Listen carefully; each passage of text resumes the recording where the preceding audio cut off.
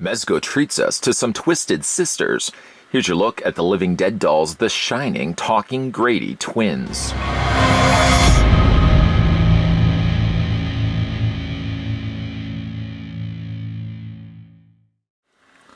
Stanley Kubrick's The Shining has been immortalized as the Grady twins join the Living Dead dolls family.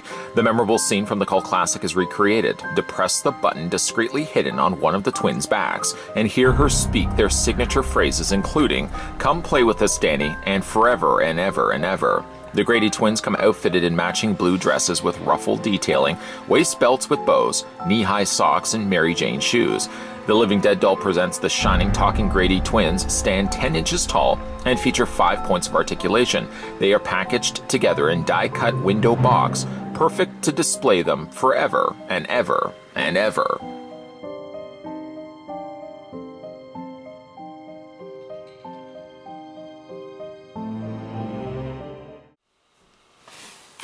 Now, before we have a look at this twisted pair, the first thing we're going to do is figure out how tall these Living Dead dolls stand. On average, they're all going to be pretty much the exact same height as they utilize the exact same body. But nonetheless, though, it's a service that I'm more than happy to provide you guys, the members of the mob. And according to my trusty tape measure, the Ultra Measure 5000, you're looking at the Grady twins standing 10.2 inches in height.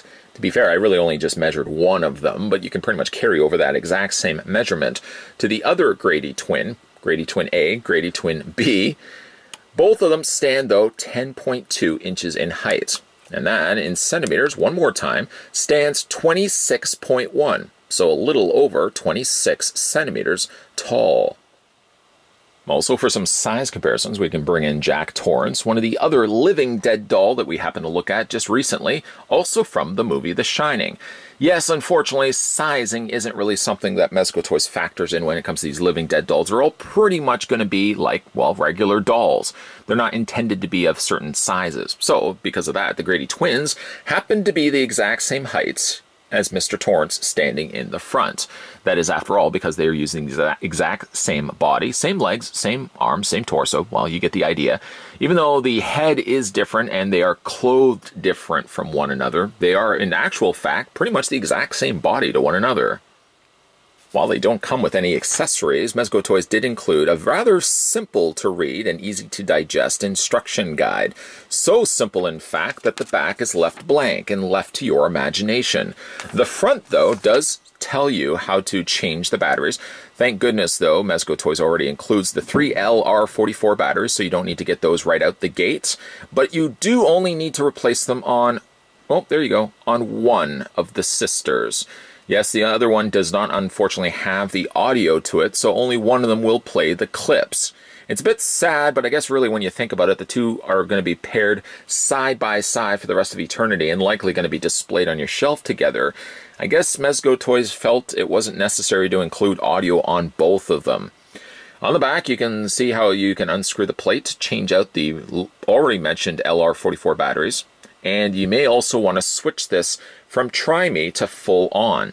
Try Me will only give you one audio effect. On will give you all of the haunting splendor that we will be having a look at. So they do come included with that, which if it's not much, granted, no, but at least it's something.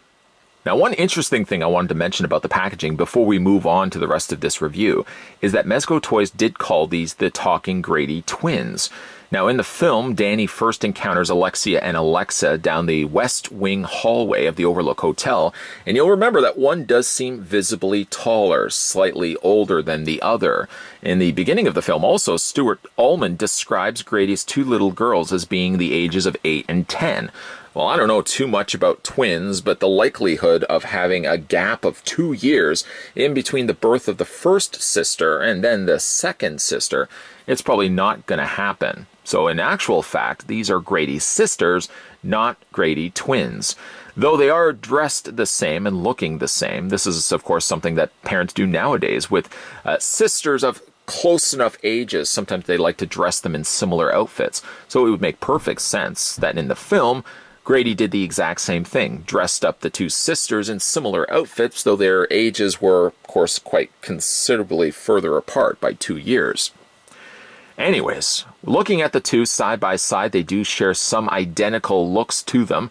Their faces are very similar, slightly changed from one to the other, but they are the exact same heights, unlike in the film. Now, again, we already did the comparison with Jack Torrance, so that we know they pretty much share the exact same bodies. So there's no chance that one is going to be a little bit taller than the other, but one is different from the other. Remember, I mentioned that one of them did have audio clips. Now, I'll leave it to you to guess which one you think is the talking Grady's sister. Go ahead.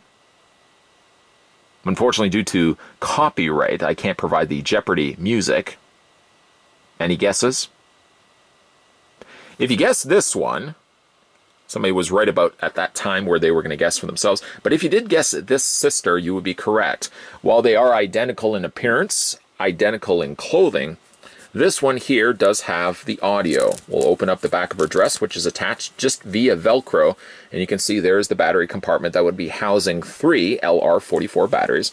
Down below, there's the on, off, and try me mode, and then down below that is the button, just below the switch. What I don't get though is between toggling it between try me and on, I don't actually notice any difference with the audio. It seems like it plays the exact same clips. I thought perhaps the length of clip might have changed, but it does seem like it's the exact same clips from one another. We'll go ahead and just attach this like so, and we'll go ahead and press the button so you can hear the sound effects, the audio clips. Here we go.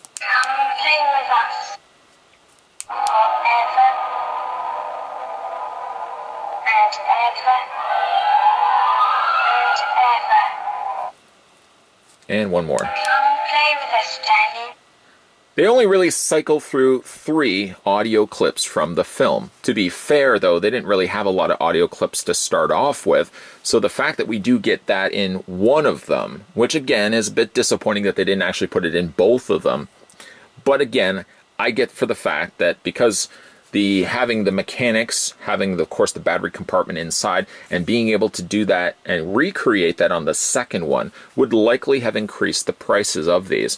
At the end of the day, when it comes to displaying them, you're probably going to be displaying both Alexia and Alexa Grady side by side as they should be anyways. So it doesn't really make much sense why you would have to have them in both of them.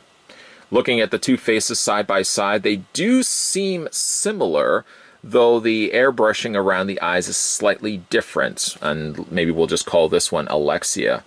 You can see that she's got a little bit more of the reddish rouge around the eyes, where Alexa here is a slightly more brownish or slightly more darker black. The eyes are very similar, the expression is very similar, the hair is very different as well.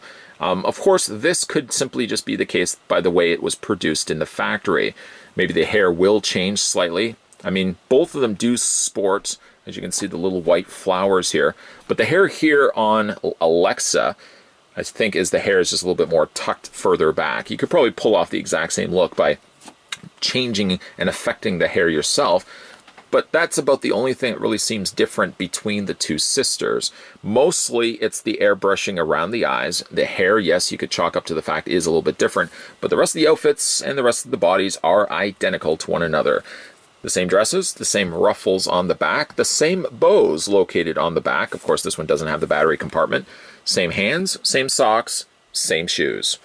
There's what the undersides of the shoes look like. I must say, though, I mean, I'm kind of actually liking this one a little bit more than Jack Torrance. Jack Torrance was a neat looking Living Dead doll, but I really like the eerie airbrushing that they've arrived at adding that around the eyes. As I said though, the eyes are about the only thing that really does change between the two.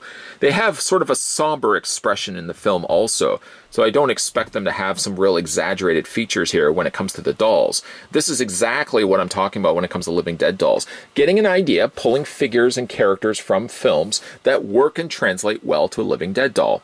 Some of them a little bit more successful than others. This is like flat out looking like an actual doll. If actual fact, if, if you just removed like the airbrushing, that dark shadowing around the eyes, you'd be probably hard pressed to not look at these as just simply regular dolls. I mean, this could be something I could give to my daughter, for example. Unlike maybe some of the other living dead dolls that we had looked at before, these just look like natural looking dolls. And one thing about it, though, is uh, if you are somebody that's collecting these, unless your friend knows where these are pulled from, the fact that they do are are identical, somewhat identical to one another he might actually just think that you're collecting dolls, which there's nothing really wrong with that. I mean, it's just more so for the fact that these look more like dolls and less like you could probably hand pick them from, say, like a Freddy Krueger or Jason Voorhees. You know exactly who those characters are.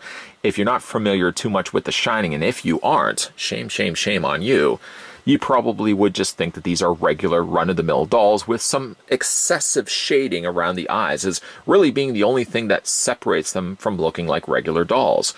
So let's have a look at the articulation on them. I'm only going to look on this one because, again, they're going to be exactly the same to one another. The head rotates all the way around.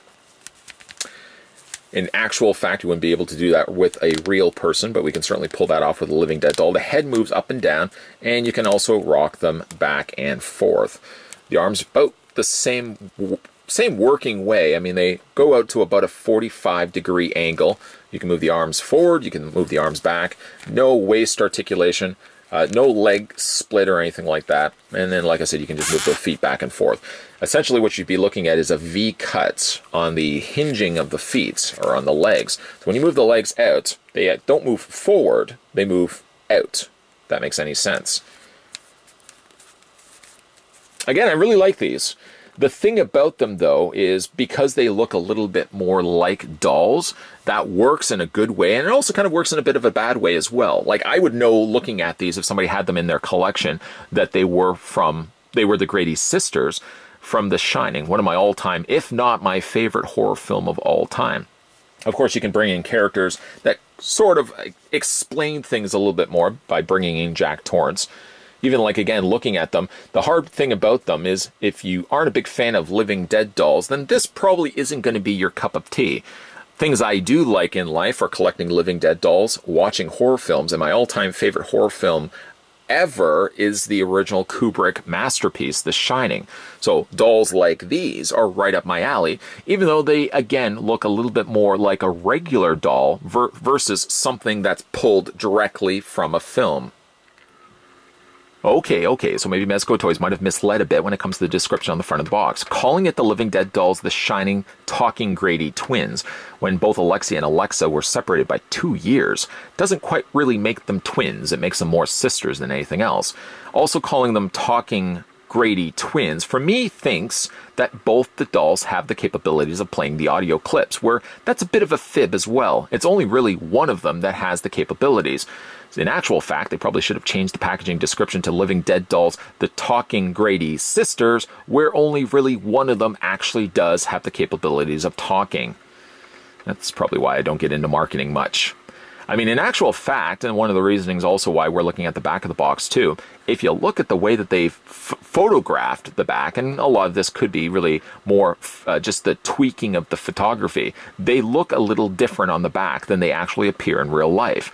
On the back, they look malnourished, paler in their faces, and the darkness around their eyes are a little bit more profound. Their dresses are also a little paler as well, which makes me think it's more just tweaking in photography.